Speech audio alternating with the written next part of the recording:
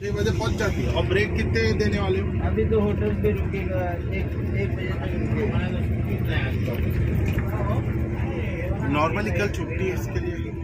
Should I stand here सामने से हट ना। अच्छा सामने से तो